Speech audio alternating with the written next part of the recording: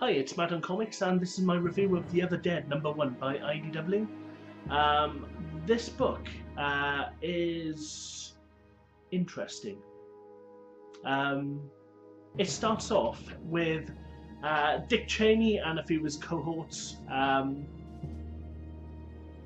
shooting deer.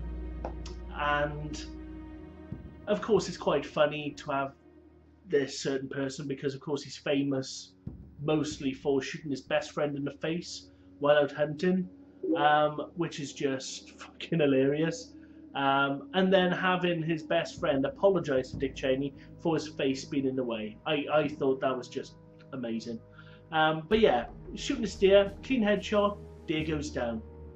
It's some brilliant um, writing in this. Um, the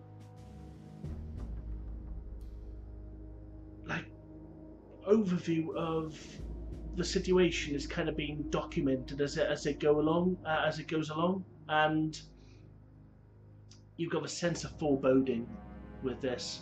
Um, and it cuts to a little kid who's having problem eating food.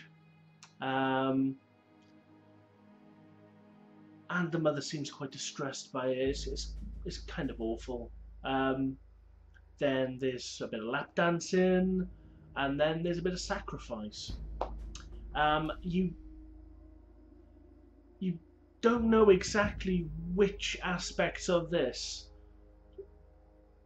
are like directly linked to the animals coming back from the dead. Um, whether it's to do with a certain sacrifice, whether it's to do with um, government or whether it's to do with I, I just don't know. An artifact. I, I I'm completely in the dark about this. Um, but it seems a really good story. Uh, the artwork is interesting and very vivid. It's just bloody good. Um, and I want to find out more you know, I don't know how long this is for. I hope it's for at least six um, to tell the story of, you know, what's happening. But I, I was I was quite quite pleasantly surprised by this book. I only picked it up because it had quite an interesting cover, and you know, it's it's proven to be pretty spot on. Um, after that, I wish I picked up the the original cover with the biohazard symbol on it. That looked really kind of cool. Um, but yeah, I'm quite happy with this one. I think cover price for it, and you know, which is all good for a variant. Um, so score wise, um, I will give this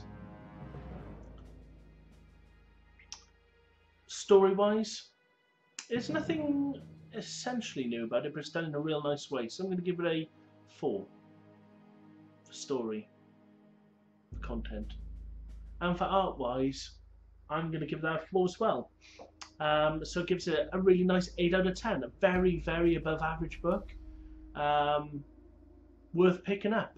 I certainly, well, hopefully I'll be picking this up as well. Um, please comment, subscribe, thumbs up.